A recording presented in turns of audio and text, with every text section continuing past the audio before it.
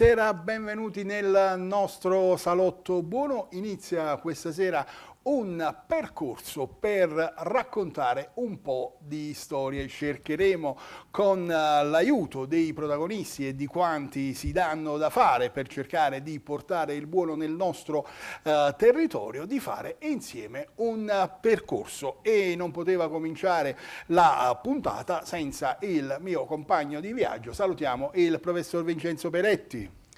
Buonasera Roberto, Beh, eh, io sono anche emozionato eh, perché lanciamo una trasmissione importante, Salotto Buono, poi capiremo anche perché l'abbiamo chiamato Salotto Buono.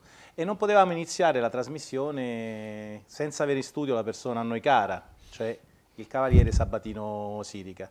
Quindi penso che sia il caso, anche per chi non lo conoscesse, di capire chi è Sabatino Sirica. E allora conosciamolo subito.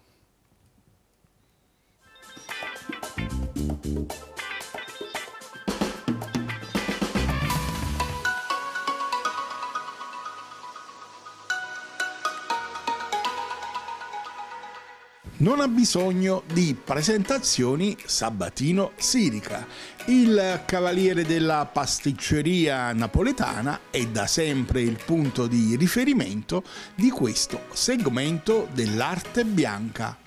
Una storia che parte da lontano, da quando all'età di 13 anni fu accompagnato dal papà ad imparare il mestiere ed ha imparato talmente bene che quasi 70 anni dopo nessuno può fare a meno delle creazioni partorite nel laboratorio di San Giorgio a Cremano che lo ospita dal 1976. La storia è di quelle belle, da giovanissimo in squadra con i più importanti nomi della pasticceria napoletana fino al momento di mettersi in proprio. Anno dopo anno tutti sono stati deliziati dalle sue creazioni. Intere generazioni sono cresciute spegnendo candeline sulle sue torte iconica quella crema chantilly e fragoline, la più amata da Diego Armando Maradona. Il Pibe Oro, ma non solo, per decenni è stato il protagonista del dopo partita degli azzurri, con gli spogliatoi arricchiti da creazioni di ogni tipo una carica conservata per 30 anni prima di tirare il fiato.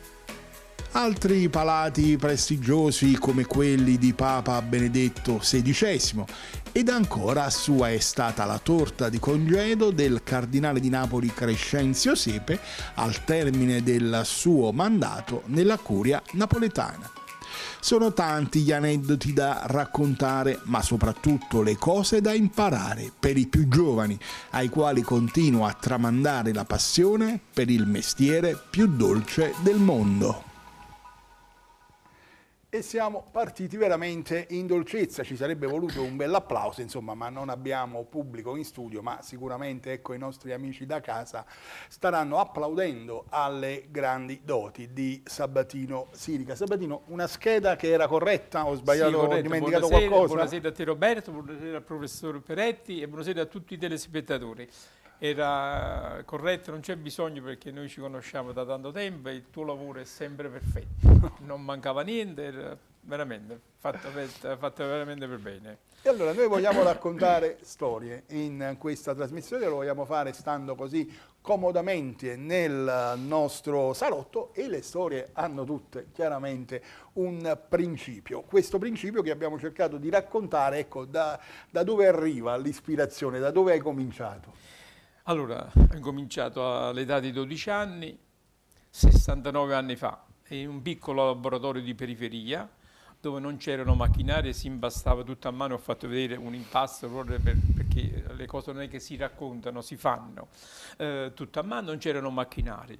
Poi la mia fortuna è stata quella di entrare in una grossa azienda napoletana, che ha fatto la storia della pasticceria napoletana, italiana e internazionale. E questa è stata la mia fortuna, incontrare dei maestri pasticceri veramente, dove si faceva un lavoro eccezionale.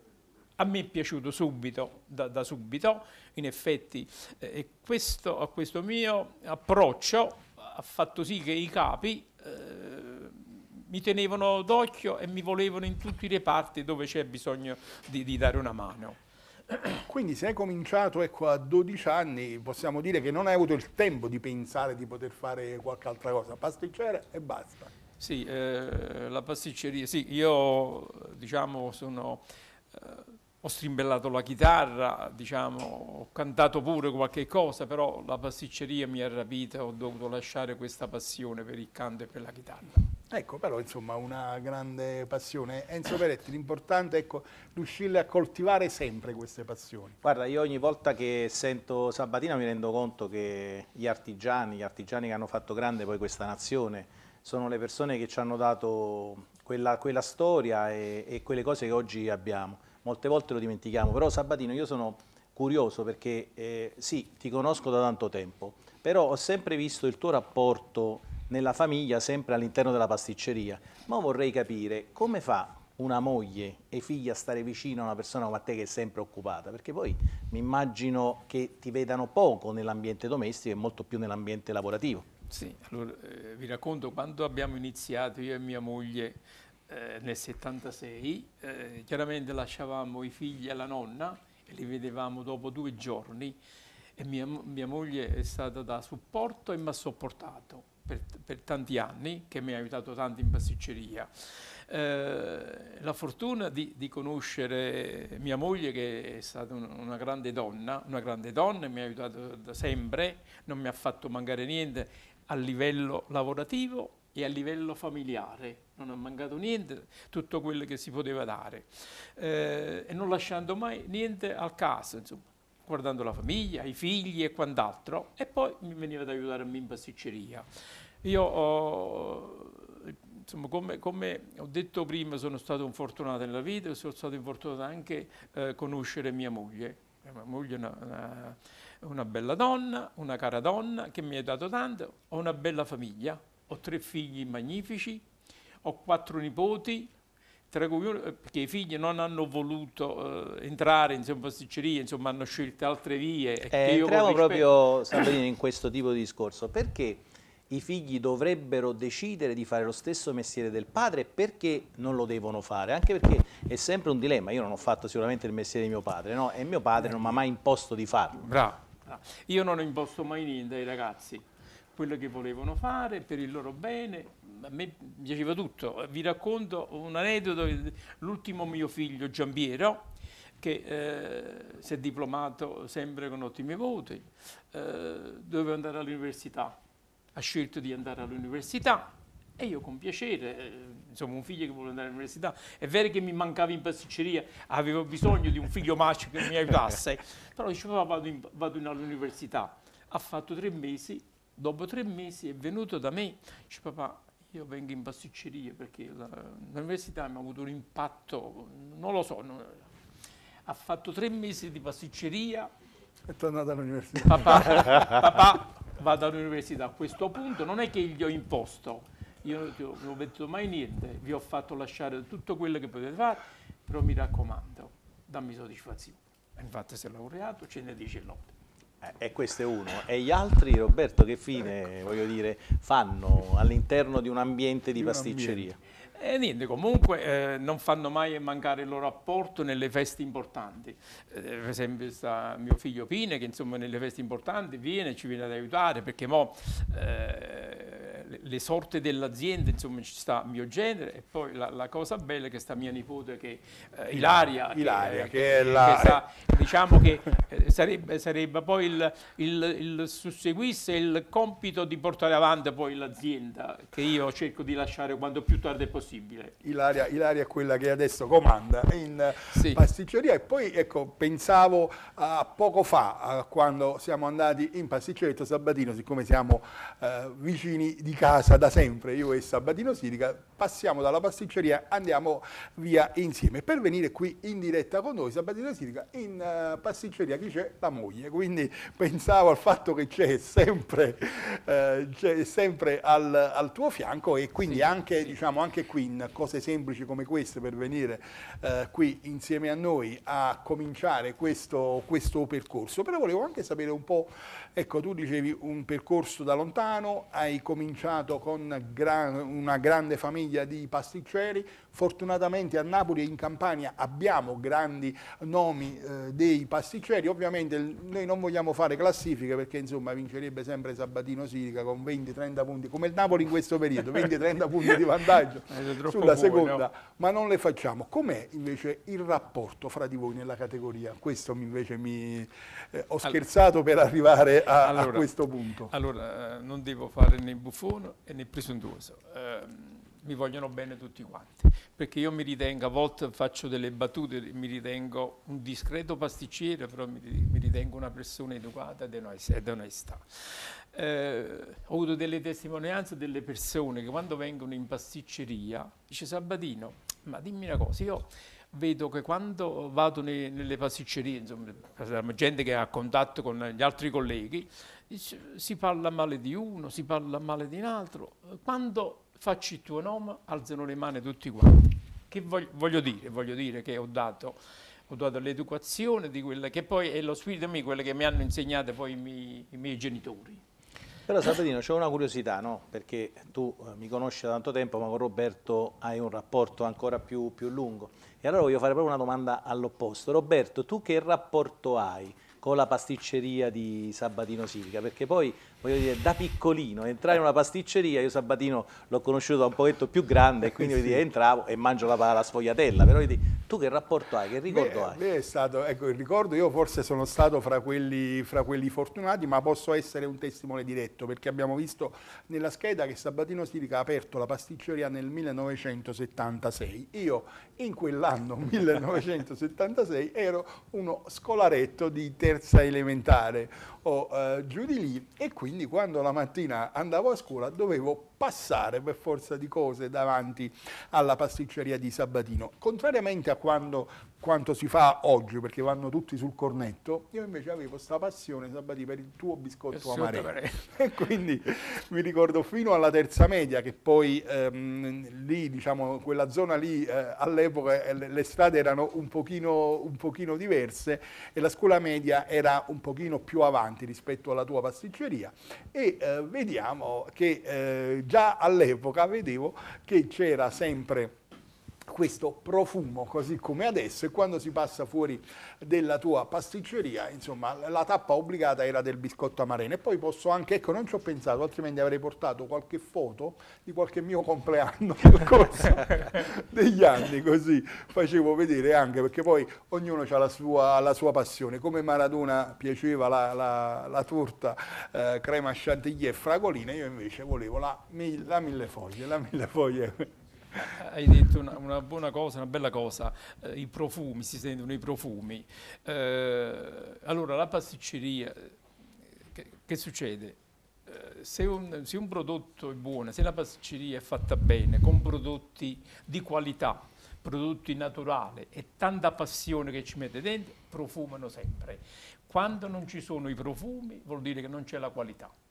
Eh beh, i profumi e Vabbè, i scusa, oltre il profumo legati. andiamo al sapore, no? Andiamo, che, andiamo che cosa ci lanci adesso? E adesso, insomma, io purtroppo ho questa, questa, cosa che ho sposato, ognuno si sposa una cosa, io mi sono sposato da una decina d'anni con il provolone del Monaco DOP e per non essere, insomma, io eh, a celebrarlo e a raccontarvi tutto quello che è successo, quindi a fare il punto sulla fine del 2022 e su questo inizio del 2023 per il consorzio di tutela del provolone del Monaco DOP e allora ho chiesto la cortesia a una mia cara e bella amica, a Lorenza Licenziati, che ci racconta tutto quello che è il mondo del Gran Galà del provolone del Monaco DOP.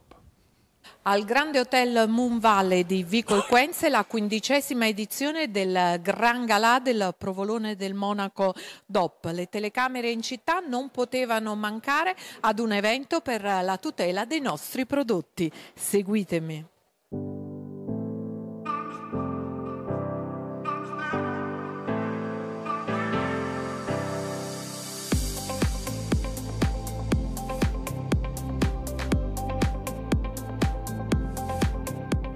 Presidente, un anno difficile, lo sappiamo, però abbiamo viaggiato, a che punto siamo e cosa state facendo ancora di più per tutelare questo prodotto eccezionale, questa eccellenza del nostro territorio? Beh, certamente eh, abbiamo attraversato un periodo veramente difficilissimo, ma nonostante ciò, nonostante ciò siamo andati avanti con tante difficoltà e ultimamente stiamo affrontando questa crisi eh, sull'energia, sul gas, sulle materie prime, gli alimenti per gli allevatori. Veramente ci stiamo dando uno sforzo notevole.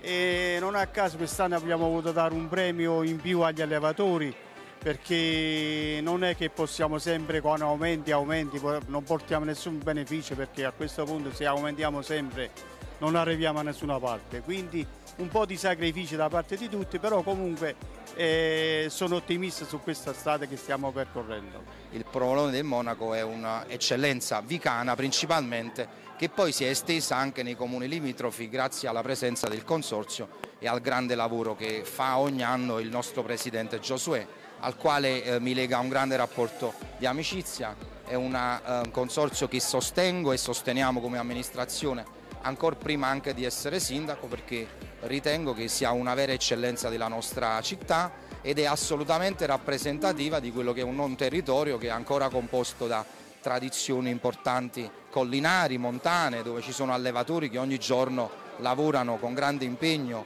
fanno manutenzione ai boschi e quindi alle loro terre affinché si abbia sempre un prodotto migliore.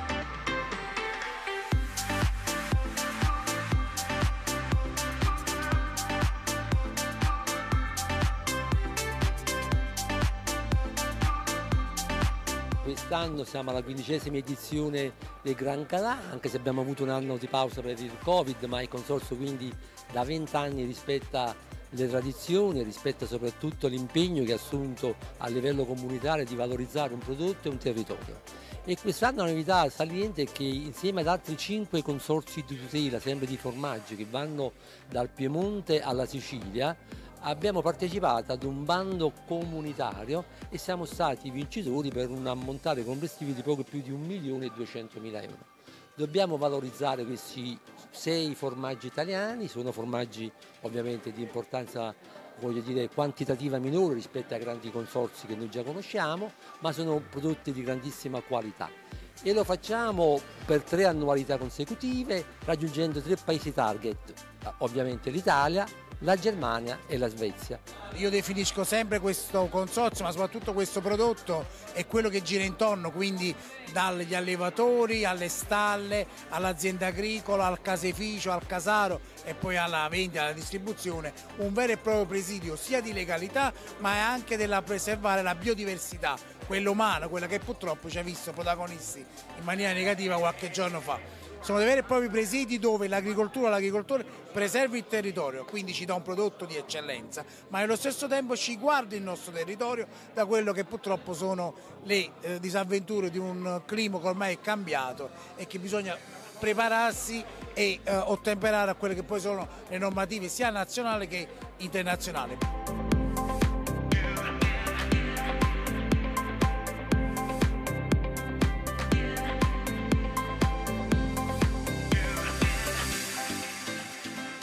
Parliamo naturalmente di tutela del prodotto, soprattutto in questo periodo. Lei è sempre tanto vicino al consorzio, ma soprattutto ai prodotti. A che punto siamo? La tutela del problema del monodop sta a buon punto, oggi è un prodotto abbastanza tutelato nonostante ancora qualche falso c'è in giro, però riusciamo a mantenere nei controlli. Il problema è la grossa crisi che ha investito il settore lattiero caseario, il problema dei nostri allevatori, il problema di immettere in un mercato globale un prodotto che è raro e quindi ha dei costi maggiori. Quando c'è crisi logicamente perdono i prodotti maggiori, perdono il, il loro appeal nelle tasche degli italiani e quindi nonostante questo però devo dire che il consorzio dai numeri anche quest'anno raggiungerà lo stesso numero di marchiature dell'anno scorso, che significa già arrivare a un momento di equilibrio per noi importante come consorzio. E poi c'è la grossa tutela delle razze in via di estinzione e della razza bovina agerolese che il consorzio ha nel, nel cuore. I numeri sono soddisfacenti, c'è un incremento, dobbiamo però aumentare sempre di più il numero. Questa sarà la sfida nei prossimi anni.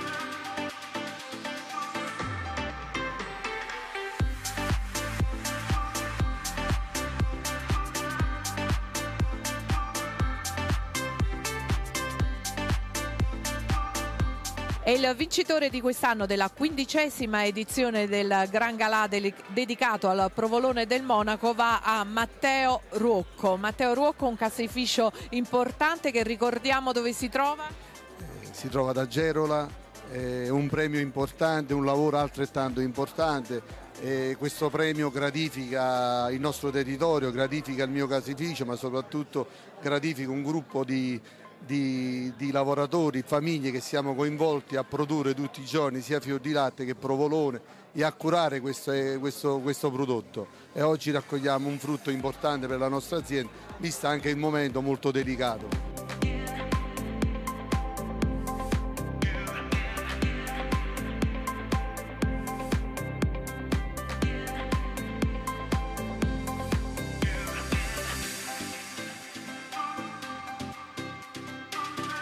Siamo sempre lontani eh, perché in pratica portare questo messaggio in tutte le case è complicato. Io da quando sono stato folgorato, come si dice in questi casi, sulla via di Damasco dal provolone del Monaco ho cominciato anche io a fare la mia parte. Leggiamo le etichette, non ci fermiamo eh, davanti alla prima cosa che ci propongono e chiediamo, esigiamo che sia quello originale. Nel caso del provolone ci sono le marchiature a fuoco su ogni faccia, eh, c'è la scritta in etichetta, eh, ovviamente eh, il falso è sempre dietro l'angolo e il provolone ehm, abbiamo dovuto fare, eh, assistere nel corso degli anni ad una vera e propria task force perché c'era veramente tanto tanto falso in giro. I, pro, I, prodotti si tutelano in questo modo, si acquistano, ci si rende conto che siano quelli originali, costano tanto, è vero perché la qualità costa qualcosa in più, però non bisogna comprarne un chilo, ne compriamo 200 grammi, 100 grammi,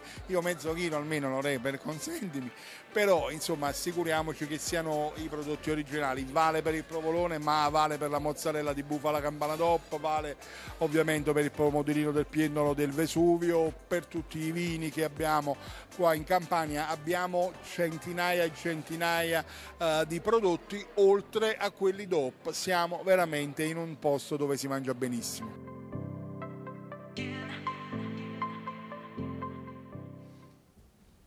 E abbiamo centinaia e centinaia di prodotti. Ecco, cito me stesso in uscita di questo uh, servizio nel quale, professor Peretta, avevamo tutti e due i capelli più corti, eh, quindi dobbiamo... Dalla prossima puntata, eh, prossima dobbiamo... puntata ci tagliamo i capelli, oggi piano, era pescaramanzia, ecco.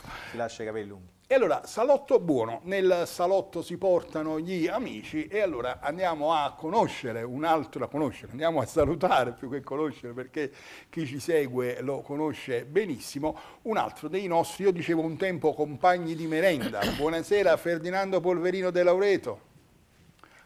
Buonasera amici salottieri, mi sentite bene?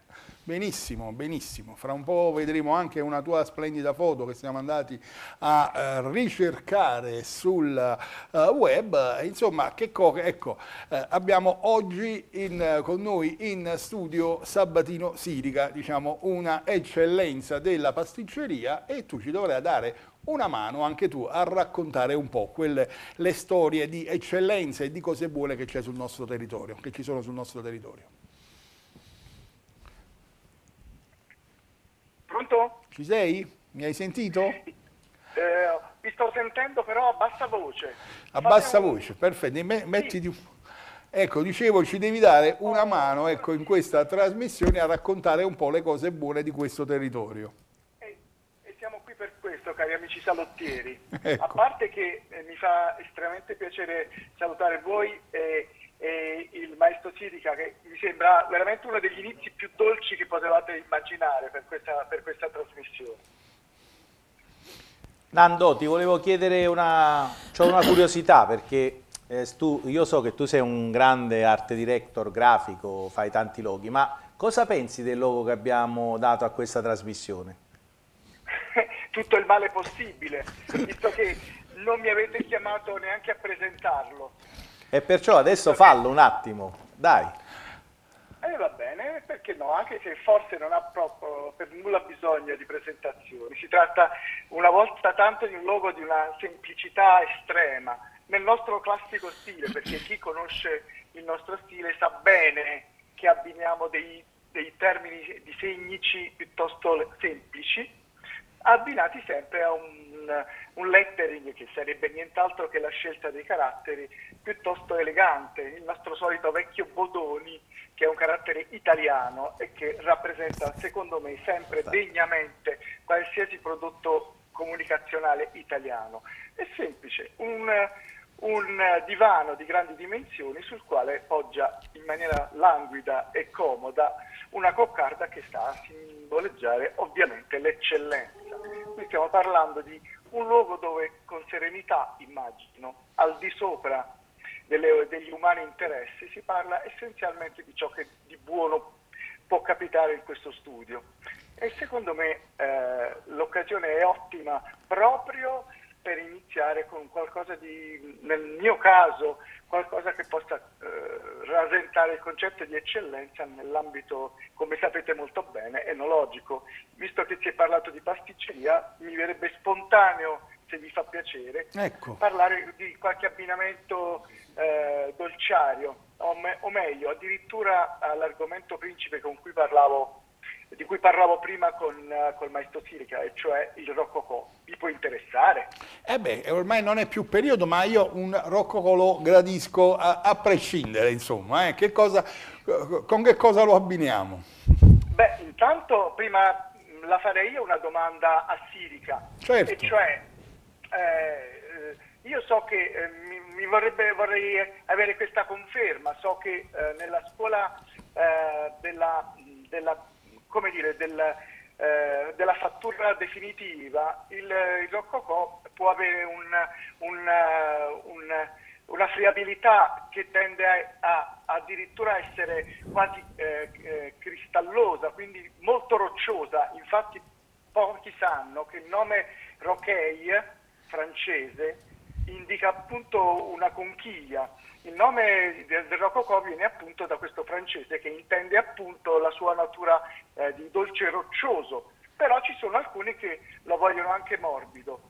Eh, il maestro mi pare di capire, se non sbaglio, eh, è per la scuola del friabile duro. Dico bene? Sì, hai detto bene, hai detto bene, perché ehm, i rococò tenere sono delle innovazioni che poi hanno, trovano il tempo che, che trovano il tempo, non, eh, il rococò deve essere tradizionale, eh, io grazie a Dio tutta la mia clientela difficilmente mi cercano il rococò tenero, perché eh, tenero perché ehm, a volte uno può pensare di fare il presuntuoso, il rococò tenero perché chiaramente quando vanno a fare questi rococò che sono duri veramente non si riescono a masticare veramente dice loro li vado a prendere morbidi che lo posso mangiare con una certa tranquillità ma il rococò deve essere duro perché se lo riesci a fare un, un impasto per bene che deve essere poroso chiaramente è friabile è duro all'impatto, però quando lo vai ad accostare alla bocca si, si, riesce a frantumare, si riesce a sciogliere con una certa,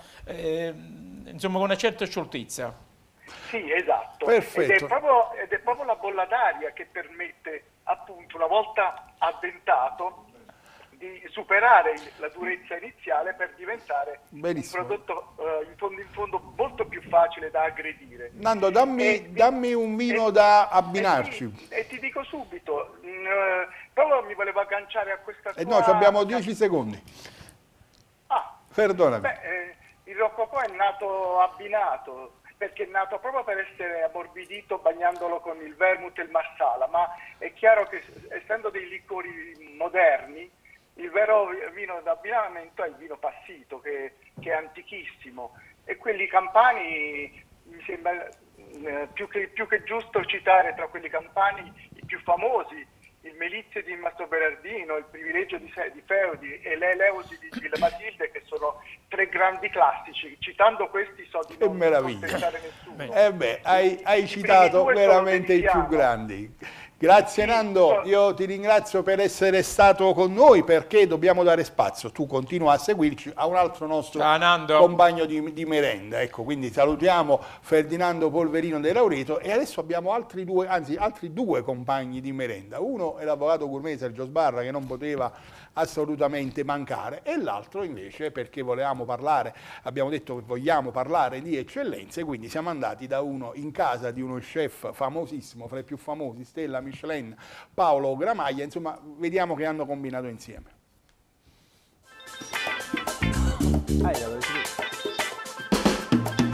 Amici da casa, ben trovati. Oggi siamo a Pompei, siamo col maestro Paolo Gramaglia, siamo con l'uovo tranquillo di Paolo Gramaglia. Vedo tanti prodotti. Chef, ben trovato.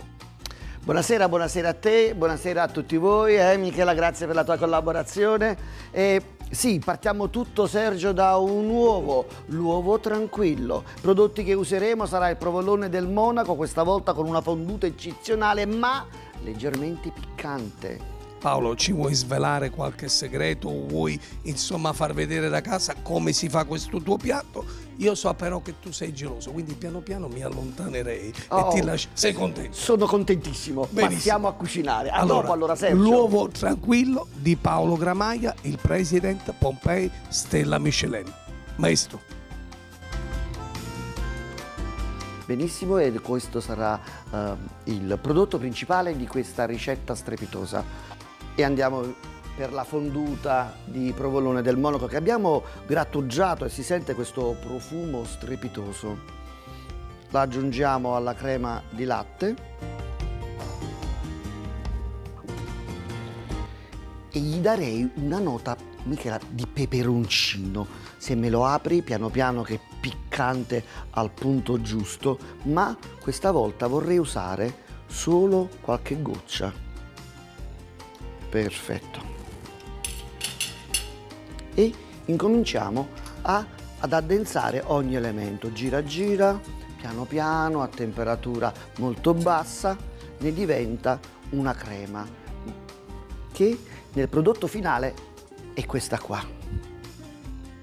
L'uovo. L'uovo è alla coque, cotto in acqua bollente 2-3 minuti a secondo della grandezza. Ora, la ricetta è quasi fatta, eh? E andiamo con la fonduta.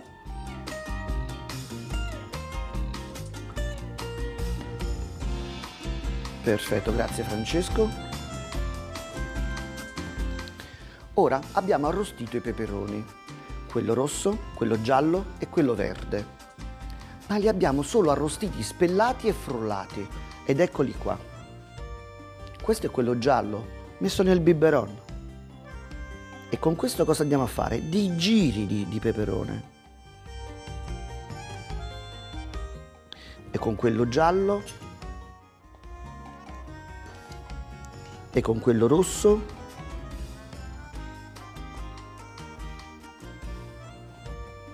Mentre con quello verde solo due puntini, qualche puntino anzi. Gli abbiamo dato un'aromaticità particolare e una consistenza intrigante, grattugiando dei piccoli tarallucci che vengono fatti tra Castellammare e su tutti i monti lattari. E andiamo a metterli al centro della nostra fonduta col peperone. Ora prendiamo il nostro uovo tranquillo, lo andiamo ad aprire lentamente.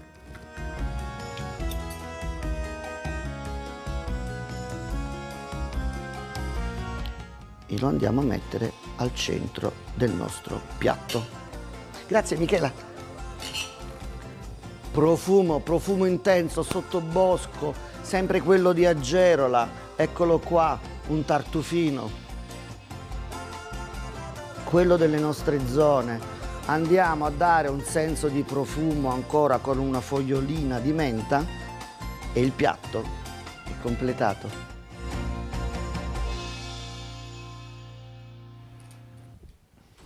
E torniamo in eh, studio, visto che si sta facendo sempre più vicina all'ora della cena, insomma vediamo anche eh, qui delle eh, cose veramente tanto tante buone ed invitanti. Ritorniamo nel nostro salotto buono, ecco professore Peretti, lasciamo appunto Sergio Sbarra, lasciamo eh, Paolo Gramaglia, ma li lasciamo per oggi perché poi ecco nel nostro salotto gli amici vogliamo portarli tutti. Sì, sicuramente gli amici, sicuramente Nando e Sergio saranno poi ospiti in altre nostre puntate, Roberto, ma soprattutto un salotto buono dove gli amici si devono aprire, no? si devono aprire, quindi sarei curioso di far aprire Nando Polverino, eh, perché diventa Eh, difficile. che ci poi. troviamo dentro, insomma. Eh, no, cosa ci troviamo dentro sicuramente, ma cosa ci direbbe di alcune cose? Però adesso noi ci dobbiamo, la nostra attenzione è per Sabatino Sirica, quindi Roberto entriamo in un altro sì. argomento che è Eh, molto caro al nostro questo amico è- Sabatino Sirica. È un argomento scottante, un argomento molto molto scottante, lo dicevo, lo dicevo prima a Sabatino. Allora, abbiamo detto la torta, panna e chantilly, abbiamo detto 30 anni che sei stato lì da quelle parti, ma adesso che hanno tutti questi punti di vantaggio, sta tua passione, come la stai vivendo? Eh, me è, è un sogno, perché eh, diciamo che a me mi mancano un paio di scudetti. Questo Ma di che stiamo parlando Sabatino? Perché vogliamo dire di che stiamo parlando, perché è lo date per scontato. Eh, vabbè, eh, diciamo Siccome, che- siccome diciamo che io spero che ci vedano anche Ah, altre è- è- persone, no? è ma stiamo parlando della passione di Sabatino della Sirica. passione mia de- del calcio, perché No, del Napoli stiamo parlando, del calcio era già chiaro. del Napoli. Il Napoli, ha detto bene, 30 anni di calcio Napoli, che mh, ho avuto tante belle soddisfazioni, ho incontrato tante belle persone, tanti cari calciatori, dove mi hanno fatto anche visita in pasticceria. Ehm, allora io ricordo una volta con una delle belle partite che ne ha fatto quasi sempre belle di Sarri, eh, lo fermai e disse, mister, io non mi ricordo un Napoli così bello, prontamente mi risposto quello di Vinicio, ma attualmente questo Napoli è un, Napoli più forte di tutti i tempi. Sabatino però per scaramanzia Roberto, non vorrei parlare del Napoli di adesso perché dire, siamo tutti convinti che arriveremo a un grande traguardo, però io vorrei parlare del Napoli un pochetto più vecchio perché è quello della non tua gioventù ma è quello della maggiore diciamo passione proprio sullo stadio perché Sì, tu sì. mi ricordo andavi sempre sullo stadio a Sì, guardare ma com'erano i rapporti dei giocatori con eh, i tuoi dolci perché io quelli miei di Roberto lo sappiamo quindi voglio dire Ehm, a volte uno può, sembrare di parte, eh, diciamo che ho avuto sempre belle soddisfazioni che aspettavano tanti, insomma, dopo partite che arrivavano i dolci nelle sfogliature. Eh, I dolci, eh, loro avevano, erano amanti delle mie pizzette, tutti quanti, indistintamente le mie pizzette. Insomma, alcuni nomi per farlo capire a chi ci ascolta chi erano eh, avanti dei alcuni nomi, eh, parliamo da tutti i vecchi, da- dai calciatori, eh, da Insigne, da Mertens, eh, da Higuain, eh, insomma tutti, tutti i calciatori perché li ho conosciuti tutti quanti. Eh, da Cruz che mi, fa- mi faceva visita in pasticceria quasi sistematica, eh, da Bordin, eh, insomma tanti tanti, poi mi, mi- no, mi- perdo, mi perdo con tutte queste belle persone che ho avuto il rapporto veramente, veramente. E con, con Reina, ogni tanto che gli regalavo le torte, ogni tanto escono dei ricordi perché io ho fatto tanti, 30 anni di calcio sono tanti veramente.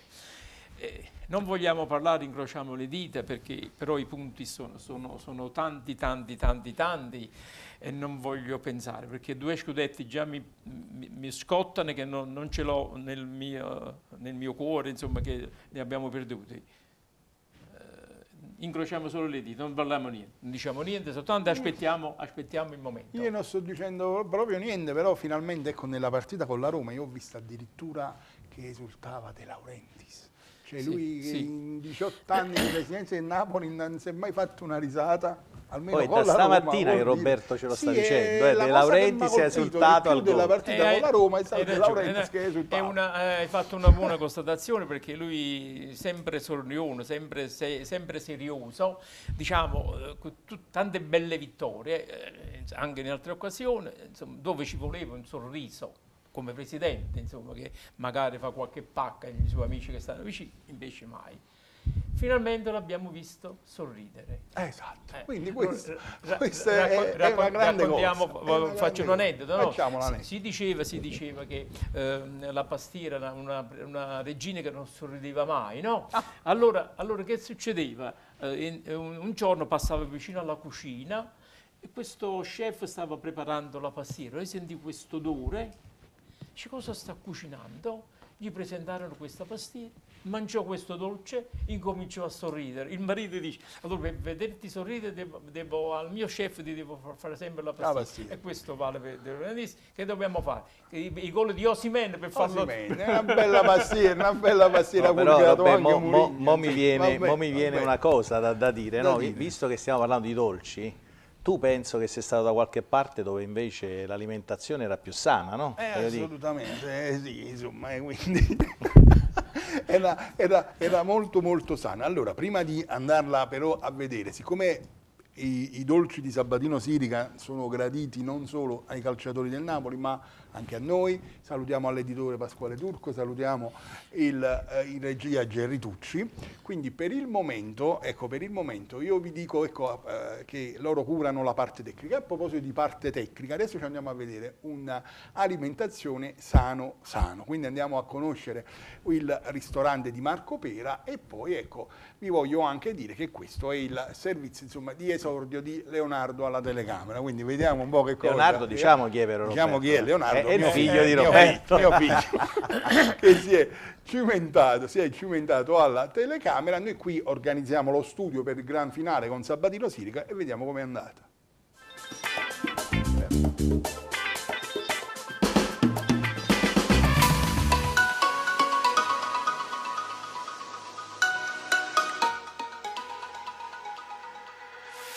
Con Marco Pera per conoscere Sano Sano. Siamo a Santa Brigida nel salotto buono di eh, Napoli. E allora prima di entrare a raccontare ecco che cos'è eh, Sano Sano, Marco, raccontaci un po' il progetto, ma perché questo nome? No, questo nome perché questo ristorante nasce da, dalla passione in comune di quattro amici imprenditori eh, che avevano la passione appunto in comune del buon cibo eh, di una vita sana anche sportiva.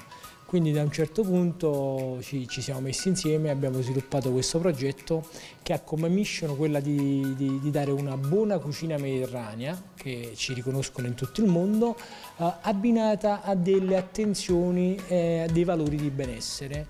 Uh, al fine di dare una cucina soprattutto buona, perché si va al ristorante per mangiare bene, per mangiare gustoso, che però tramite delle, dei, dei, dei, piccoli accorgimenti che possono essere dei metodi di cottura, la ricerca delle materie prime, uh, andiamo ad uh, aumentare oltremodo gli aspetti di benessere della cucina mediterranea.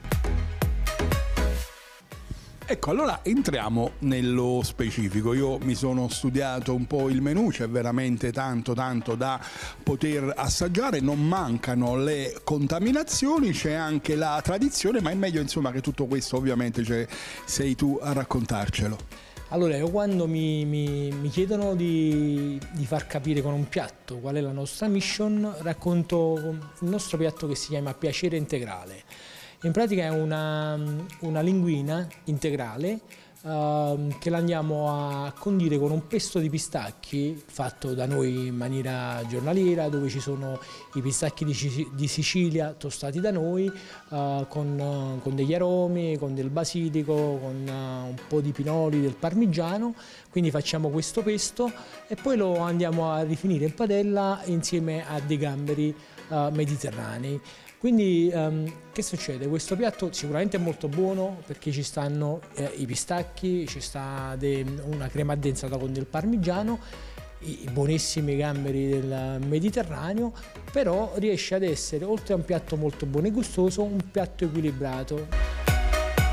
Eh, diciamo che il menù è molto vario perché si adatta bene sia al pranzo che alla cena. Infatti è un menù ampio dove vede appunto l'aggiunta di uh, poké, ma anche dei cestini a vapore che sono diciamo, la nostra invenzione, uh, ma un menù vario perché anche per la sera è molto adatto, infatti abbiamo degli antipasti sia cotti che crudi con delle tartare, grazie alla buona selezione di materie prime abbiamo delle tartare, menù cotti come può essere anche un calamaro ripieno, come può essere la nostra zuppetta di ceci e seppie con tarallo napoletano che viene molto apprezzata, di primi la mareggiata, che è una pasta mista con i frutti di mare, eh, oppure un raviolo con eh, stracciata di bufala, crema di melenzane e pomodoro confit, per poi passare ai secondi dove troviamo uh, un tonno tataki, dove troviamo del polpo arrostito, ma anche una buona bistecca, un entrecote, uh, usiamo un entrecote selezione, di selezione Michele Vergara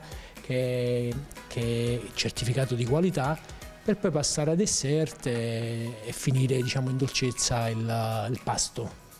E allora noi vi aspettiamo qui, dove siamo?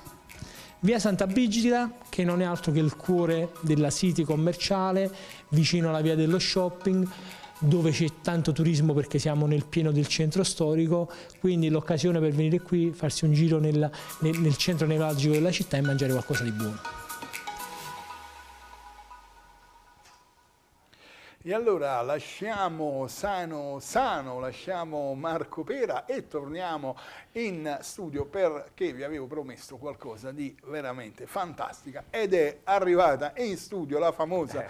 torta, panna e fragoline di Sabatino Sirico con il logo di Salotto Buono. E allora, professore Peretti, ho capito perché ti sei voluto sedere lì, per stare più vicino alla torta. Eh no, il problema è stare troppo vicino, sento un profumo, il Salotto Buono che emana questo profumo importante di eccellenze, in questo caso però di dolcezza di Sabatino, Sabatino Sirica.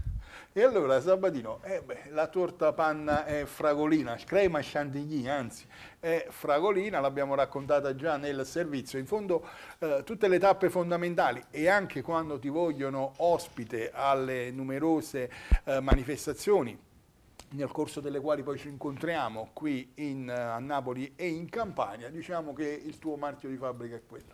Eh, non può mancare, l'ho definita torta storica, diciamo che eh, è uno dei dolci che mi è riuscito un poco meglio. Poco meglio, un poco diciamo meglio. E raccontiamo anche le caratteristiche di un dolce, parliamo della torta panna e fragola.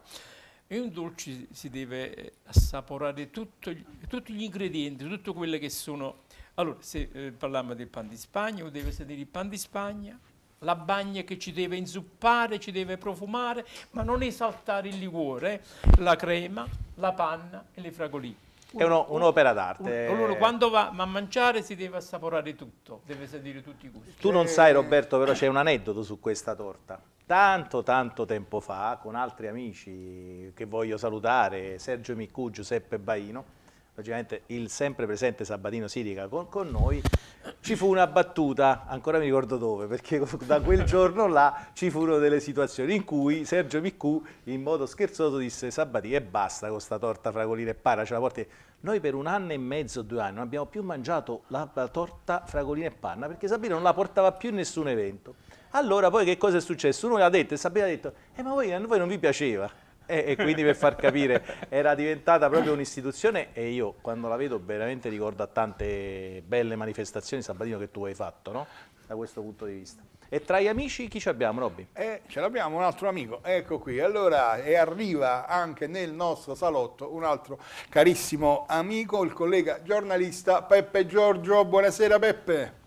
Buonasera a te amico mio, buonasera ah. a tutti gli amici ascoltatori televisivi, benvenuti allora. a voi. Che bella voce, non poteva essere che Giuseppe Giorgio, no? Nando Polverino ah. che è ah. lento, che, vedi Giuseppe Giorgio, bello proprio. Bello, sì. tonico, in quale, in quale teatro sei adesso? Adesso mi appresto a fare un tour per due o tre teatri che fra un poco saranno in scena teatri che seguo io, insomma tre importanti teatri napoletani, mi dividerò in qualche modo. Ecco, che ci consigli in questo periodo? Quali sono gli spettacoli che magari i nostri amici da casa possono andare a vedere per passare una splendida serata?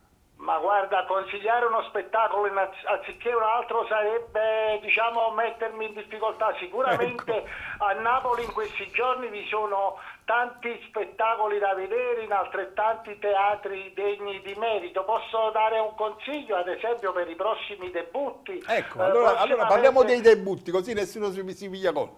Ma sicuramente domani è un altro giorno, dal 2 febbraio al Teatro Totò ci sarà Edoardo Tartaglia eh, con Veronica Mazza per uno spettacolo dove si ride facendo anche riflessioni sui tic della società e poi eh, dal 3 febbraio posso suggerire una commedia scarpettiana, un classico Scarpettiano rivisitato da un regista come Claudio Di Palma, il medico dei pazzi, che venne in scena un attore, un amico mio che conosco da tantissimi anni, un bravissimo attore, Massimo De Matteo. Poi tutti gli altri teatri, tanti spettacoli, tanti debutti, tutti da vedere, perché il teatro è vita, il teatro è cultura, il teatro, lo dicevo sempre anche ai tempi del Covid, non fa male a nessuno, il teatro fa soltanto bene alla salute e alla e alla cultura. Che bello, uno spot fantastico per il uh, teatro e fa bene a tutti anche la torta che Sabatino Siga che è con noi in studio, Peppe Giorgio, tu che sei anche un uh, critico ecco, gastronomico per il giornale Roma, insomma ti stai perdendo una bella torta di Sabatino Siga che non è poco.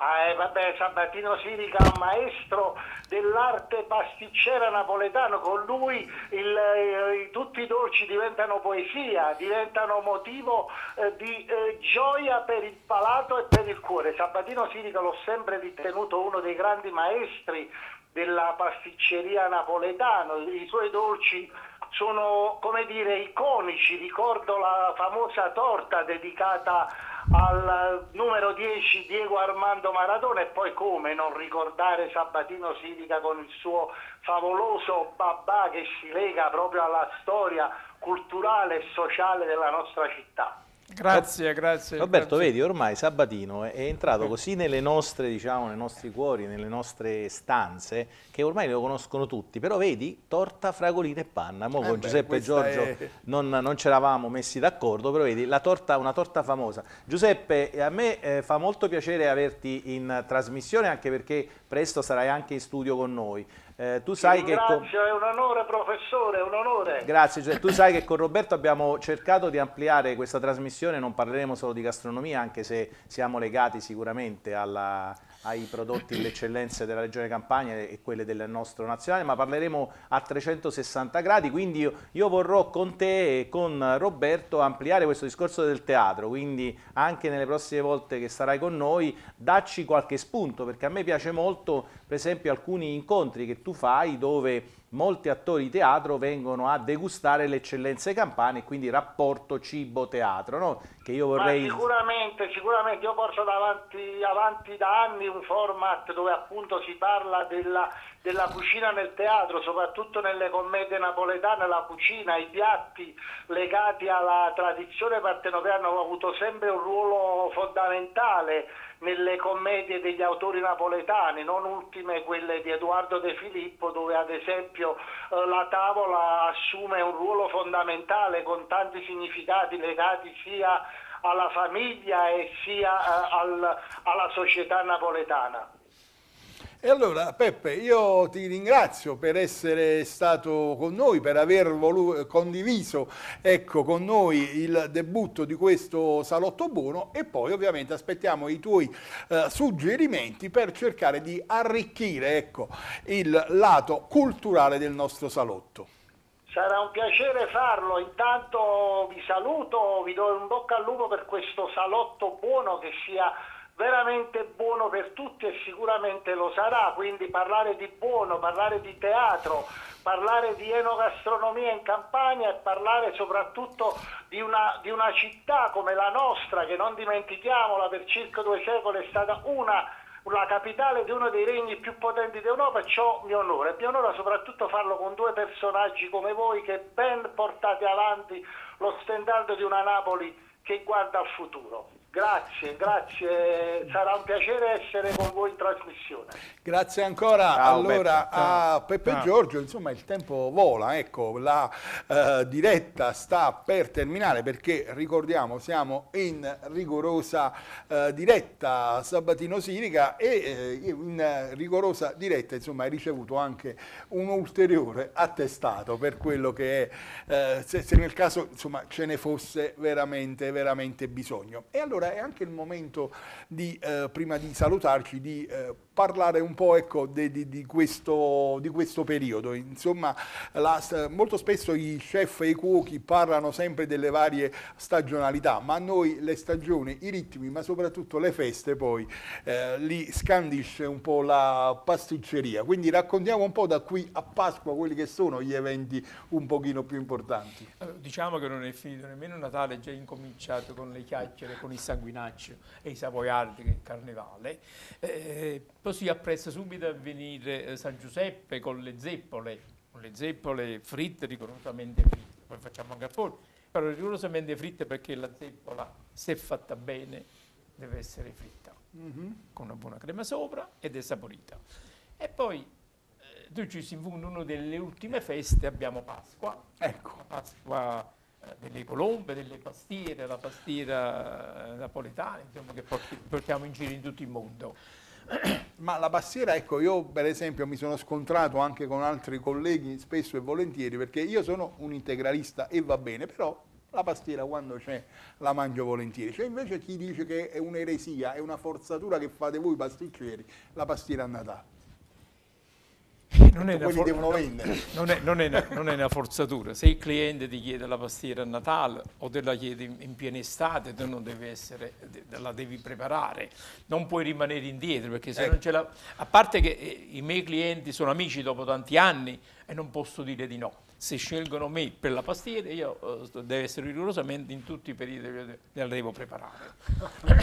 Perfetto, quindi non c'è pericolo, andate a San Giorgio a Cremano, andate da, uh, dal Cavaliere Sabatino Sirica che chiaramente c'è, una, c'è solo insomma, l'imbarazzo, l'imbarazzo, della scelta. Oggi per questa prima puntata, professor Peretti, poi ti lascio la parola per, eh, perché mi mancava sul fatto della considerazione, quindi l'ultimo minuto del, per quella, quella, che in radio chiamavamo la considerazione intelligente, te la devo lasciare, anche perché oggi, ecco, su questa scaletta della prima trasmissione, insomma, abbiamo preso anche le cartelline, abbiamo fatto grandi investimenti, abbiamo messo tutte cose positive, ma io non vorrei essere così bravo come sempre così bravo come stasera, perché un po' di gente che fa casini a Napoli, ecco, c'è, c'è e gli dobbiamo andare a tirare le orecchie. Sì, però Robè, io sinceramente voglio dare una considerazione intelligente su qualcosa che mi sta non preoccupando, ma mi sta facendo allarmare. Sta entrando nelle nostre tavole il, la famosa farina di insetti. No? L'Europa ha ormai autorizzato l'ingresso della farina di insetti, ci sono già su alcuni scaffali della grande distribuzione organizzata con la bella scritta Made in Italy dei biscotti preparati con la farina di insetti. Problema non è tanto per chi mangia o non mangia gli insetti. Io penso, e Sabatino testimonia questo, che le tradizioni abbiano un senso in un'epoca di globalizzazione dove è chiaro che tutto deve essere velocizzato e tutti devono avere la possibilità di accedere anche agli alimenti, al cibo. Non dimentichiamo mai, non possiamo creare delle nicchie troppo esagerate perché poi il, la persona normale non può poi accedere a queste nicchie alimentari. Però questa cosa mi comincia a preoccupare perché prima di cambiare alimentazione preferirei mantenermi quello che è la tradizione. Sabatino, io sono d'accordo con te che gli amici ti chiedono la pastiera tutto l'anno, però io manterrei questa eh, tradizione e la porterei avanti negli anni. Quindi Roberto ti lascio a te la parola per le conclusioni, però è chiaro che noi arriviamo a un momento importante della, della nostra decisione. Cosa vorrei mangiare in futuro? E ecco. questa è una domanda che ci porremmo e nel ci futuro, nel futuro immediato io voglio mangiare la, la torta di Sabatino Sirica, la farina di grillo la, o di insetto la restituiamo al mittente, ah. ringraziamo il cavaliere Sabatino Sirica, saluto te eh, professore Peretti, saluto anche Gerardo Tucci e Pasquale Turco che ci hanno dato una mano, ma soprattutto saluto tutti quanti voi che da casa avete voluto essere con noi in questo eh, salotto molto buono che tornerà lunedì prossimo per raccontarvi sempre cose buone, speriamo. speriamo.